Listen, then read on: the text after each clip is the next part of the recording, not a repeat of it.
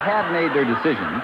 Their scores will be tabulated by Barry Barton, CPA, and Vice President of Texas' largest bank. All right, anyway, let's not delay any longer. Let's meet our contestants.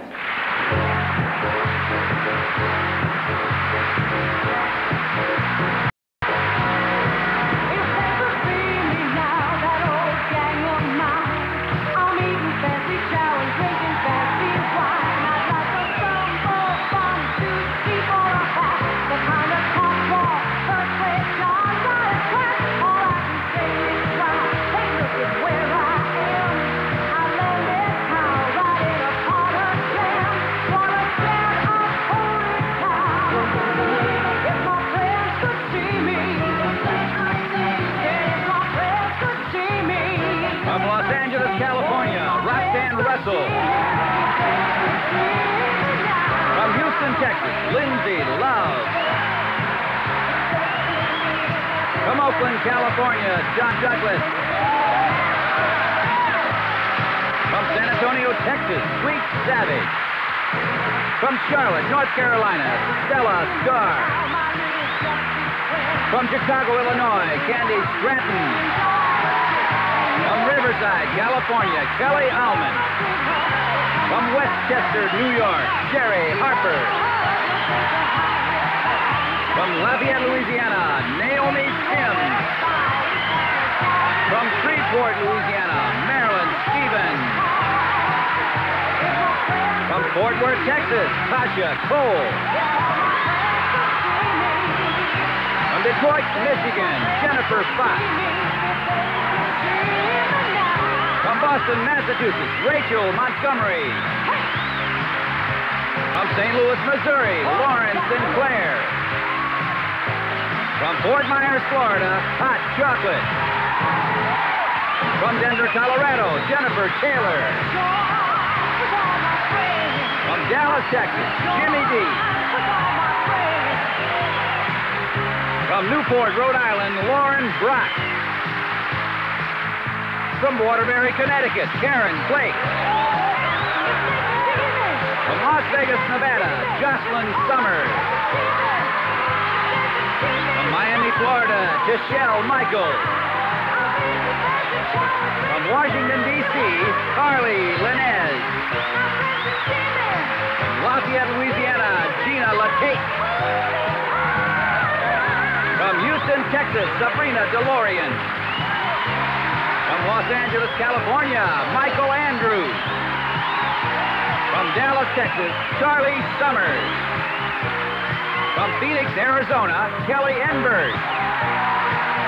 From Memphis, Tennessee, Terry Silvana.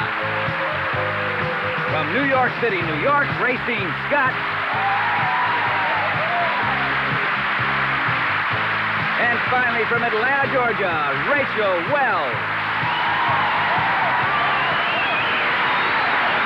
All right, ladies and gentlemen, there you have them, our 30 contestants for Female Impersonator of the Year.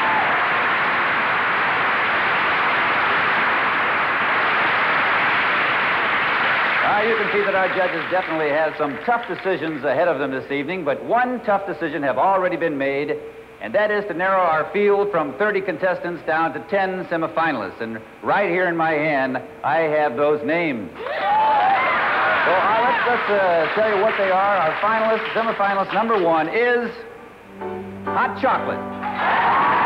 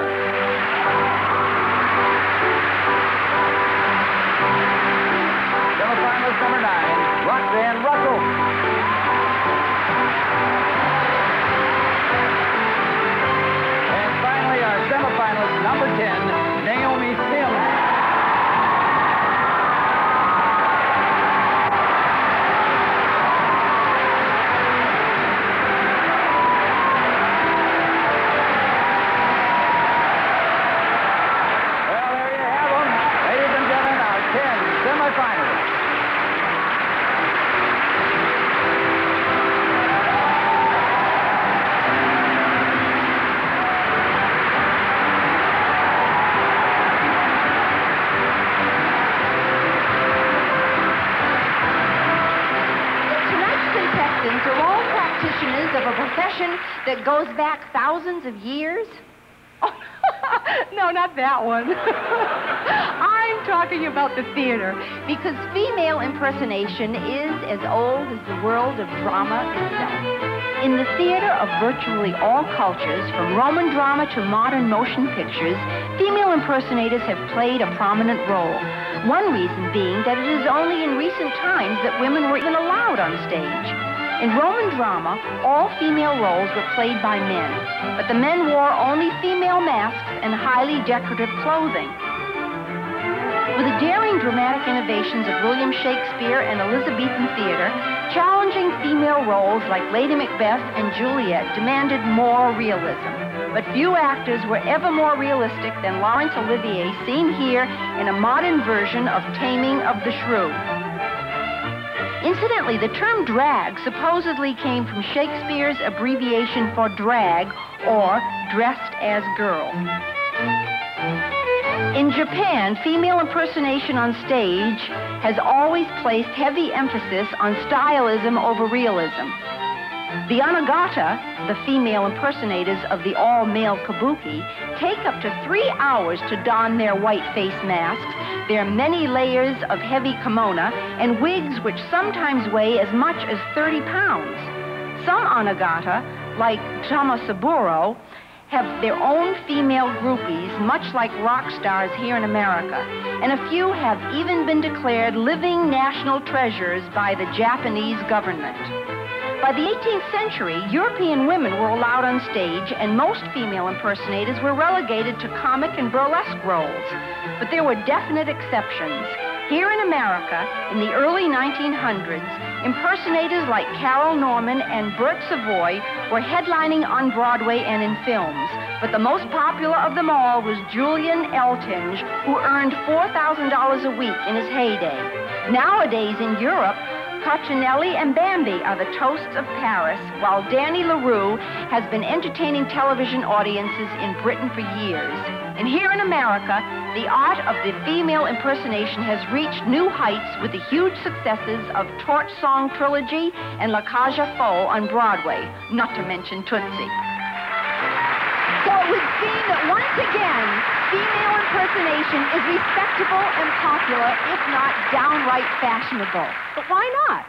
As theater and art, drag has been with us from the beginning. It deserves to be with us now. Thank you, Ruthie. Thank you very much. All right, ladies and gentlemen. Guess what? Now it's time for the evening gown competition. So without further ado, here's our first semifinalist, Hot Chocolate. Hot Chocolate is wearing a silk chiffon dress by Jorge Bassan. I'm a competitive person. I think competition is great for everyone. With this contest, it's one of the best contests out because all the top female impersonators of the country is entering this contest.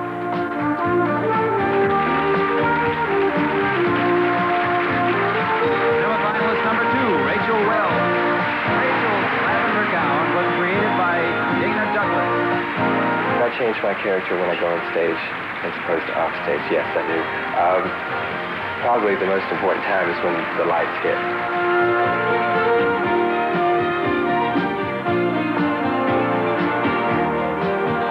Semifinalist number three, Michael Andrews. Michael's red dress was designed by Bob Mackie. Uh, yes, I have been in my Um, my started out as a kid with uh, quarter midgets and half midgets and uh, family that built them for me. And uh, I used to race them like that.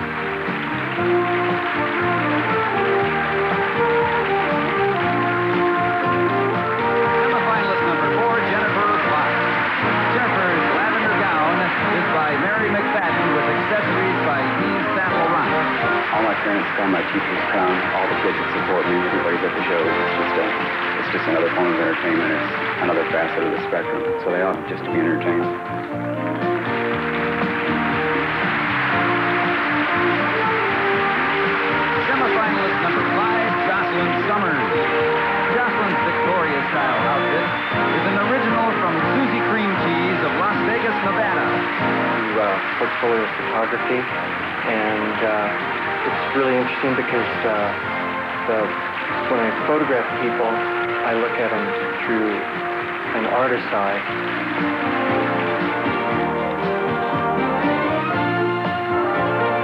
Semifinalist number six, Jimmy D. Black beaded gown is by Frank Compasta. I like to go deep sea fishing. The only problem with deep sea fishing is that they have to strap me into a chair because I'm so small that if I get a big fish, they may lose me.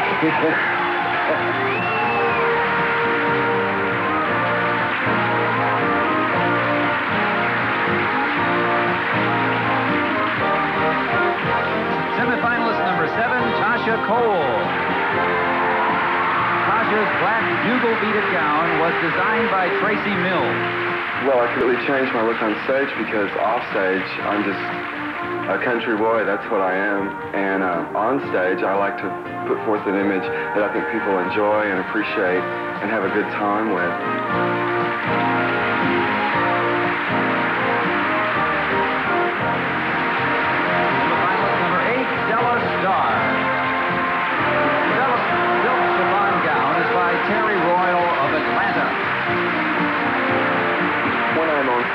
My personality changes. It causes me to have to be more flamboyant because I have to adapt my look to my character, and that's where I give my performance.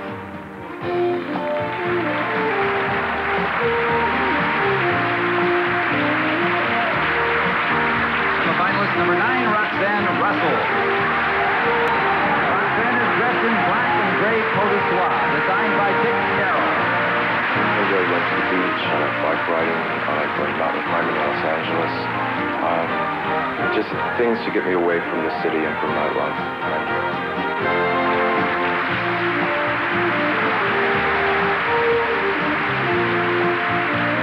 number 10, Naomi Simms. Naomi's chiffon gown was designed by Ruben Tanner. My mom thinks pretty much that uh, my talent came from her side of the family, and uh, that's what she wanted me to be, was to be a professional performer, entertainer, and so she's pretty pleased with what I do.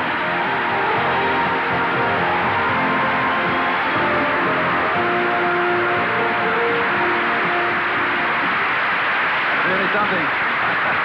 I'm certainly impressed.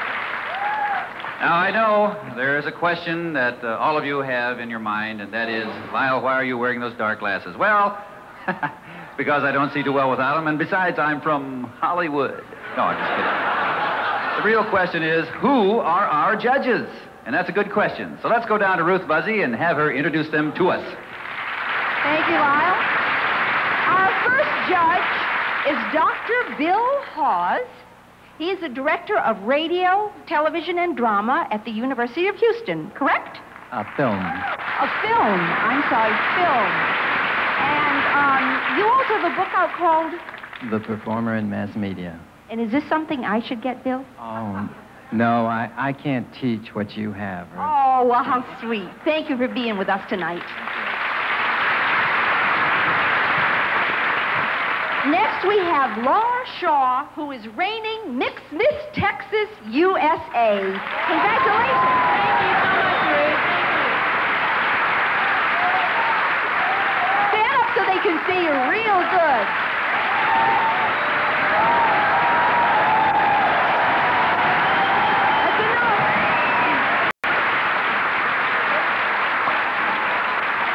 You're a queen, darling, so you should be right at home here.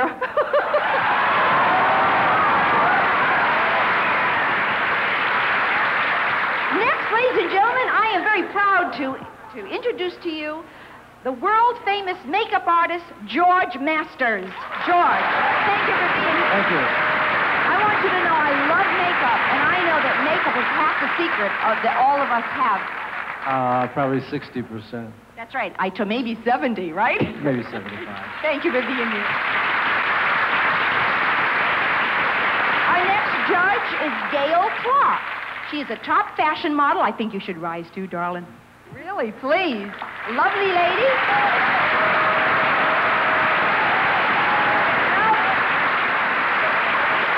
Gail has also directed many beauty pageants down here, so we're proud to have her here as a judge this evening.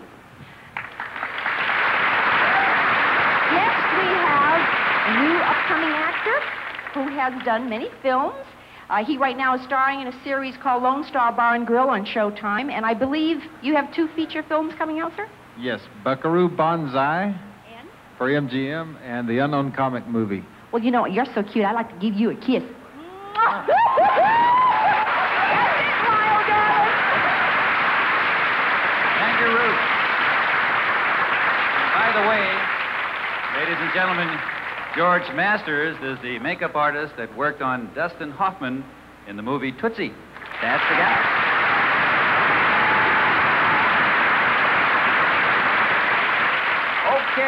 Right now it's time for a little something different. This show isn't different enough already. Oh, you've seen the contestants in evening gowns. You'll see them later on in the talent segment of the show, so let's see them now in a little different light, wearing clothes uh, with a more casual contemporary look. Should be fun, so let's get right to it. So here to start things off is semifinalist number one, Hot Chocolate.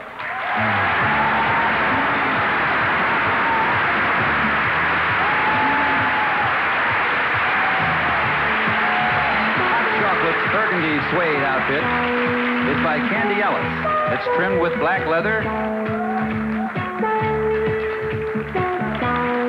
and complemented by silver fox. Semifinalist number two, Rachel Wells. Rachel's suede studded jumpsuit is from Avante of Paris.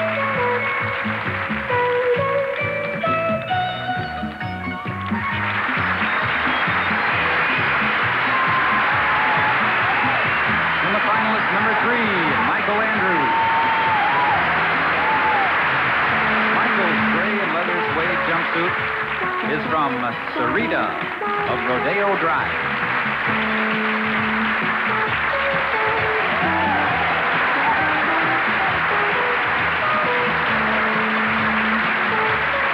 And now we have Jennifer Fox. Jennifer's outfit is a Designer's Hall of Fame suit by Albert Nipon. A Lagerfeld overcoat and accessories by Charles Jourdan.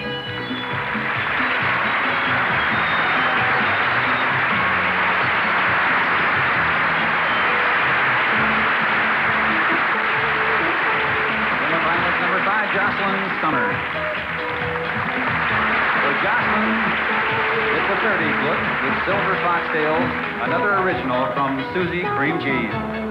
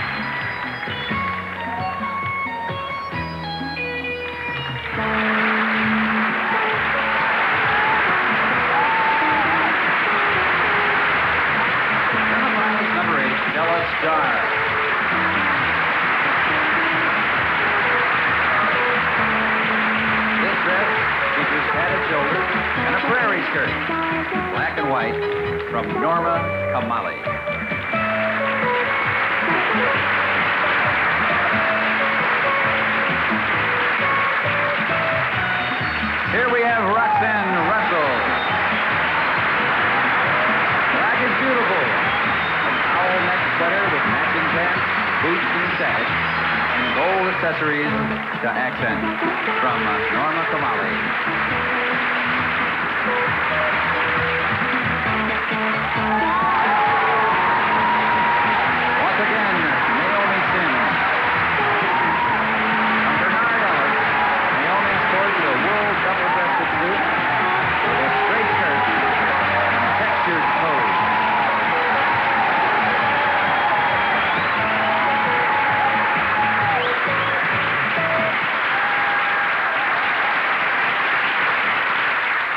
Thank you, Lyle. As you can see, right now I'm backstage, and in the middle of all the rush, rush, and last minute preparation, I'm sure the last thing in the world they want to do is talk to me. But I'm here, the camera's here, so let's see what we can find out. uh, girls, uh, for once, I'm going to steal someone else's line. Let's talk. all right? How long does it take you to get made up, would you say? Oh, Usually on the average of about two hours or so. Two hours or so? Anyone else longer than two hours? About two and a half. Two and a half. Two hours is general. Two hours is just about the time. Do you, um, now, now, for instance, under there, do you shave your legs and everything? Do you go that whole route? Is it necessary? Oh, no, sometimes we wear Danskins to cover up the hair and stuff on the legs, so it's just only necessary to wear a couple of pairs of hose for stage, you know. Anyone else anything different about that? Oh, no, I got my hair. Pardon? I have my hair. You do your own hair and everybody. Oh, you have your hair on your legs. Is that now? Now, do you take care of your own wigs, or do you have someone come in and style style your wigs? I do them all myself. You do do them all yourself. Do, do you do yours yourself? Sometimes. Boy, these guys go through a lot of work for this show. I guess they're learning what I knew all along. It's not easy being a woman.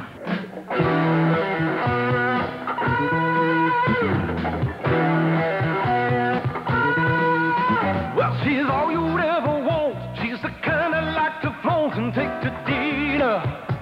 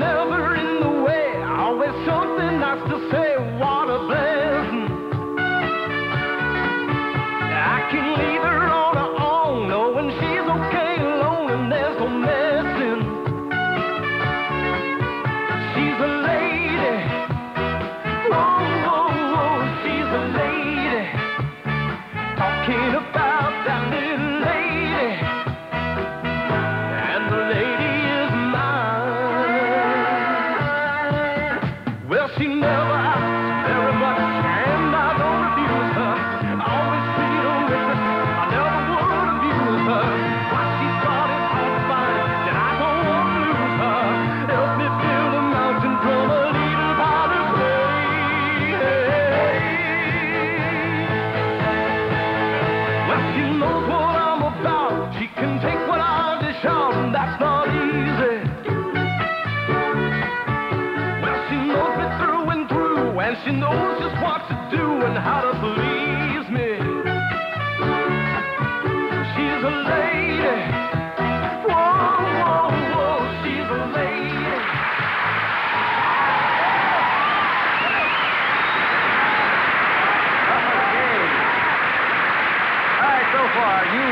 judges have seen our contestants in evening gown competition and the contemporary competition. Now, right now, it's time for the talent segment. And this is where we really separate the girls from the boys. so here's the semifinalist number one, starting off as Tina Turner. Let's welcome Hot Chocolate. Now, Dennis, think you might like to hear something from us? Nice and easy. But there's just one thing, you see. We never, ever do nothing nice and easy. We always do it nice and rough. We're going to take the beginning of the song and do it easy. Then we're going to do the finish rough. It's the way we do Proud Mary. Rolling on the river. This is the story now. Left a good job in the city. Working for the man every night and day. And I never lost one minute of sleep. And I was worried about the way that things might have been. Big wheels keep on turning. Oh, the brown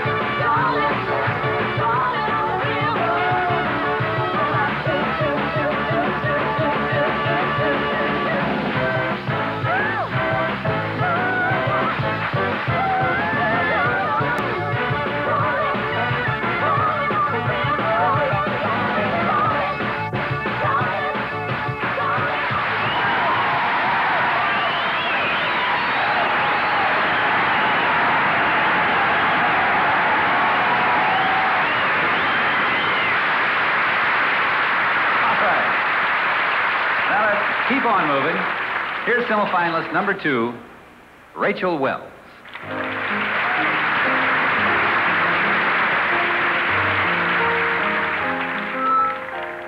The one thing I have never regretted is independence. I began to yearn for it when I was a child. When I was eight years old, I lived with two cold gray aunts in a cold gray house. My mother died when I was two. My father. My father was a champagne salesman, and he was exactly like his product. Just as irresistible, and if you're poor, just as hard to find. I adored him, and I lived for his occasional visit. Six weeks before my first communion, he came for the afternoon. I pleaded with him to take me away with him. But, Catherine, where would I take you? I live nowhere. I travel. But I'll not be away a year this time. I will be back in seven weeks for your communion. Six. Even better. And you'll not wear that hideous bedspread your aunt's made for you. I'm going to buy you a communion dress fit for a princess. Could it be red? a red communion dress. Well, why not? Take me with you, Papa. Now, not next time, Catherine. After your communion. Then we'll both go away and be happy forever. Take me with you, Papa. just keep thinking about that bright red communion dress. Catherine, dream away a little, lay a little, pray a little, make the hours fly. Father, till we meet, Katie sweet, goodbye. And I never saw him again. The one thing that I have learned about independence is that you have to live by all of your own rules. And I tell myself each and every day, who the devil cares what a woman wears? Is it worth a stitch ending up a witch in a golden shell? One is as one does, and by God it was life was as it had to be. It was not too bad to be always mademoiselle. Right or wrong, I'm glad to be just myself.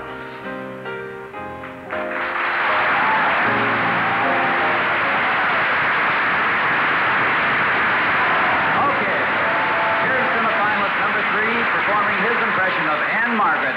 Let's hear it for Michael Andrews.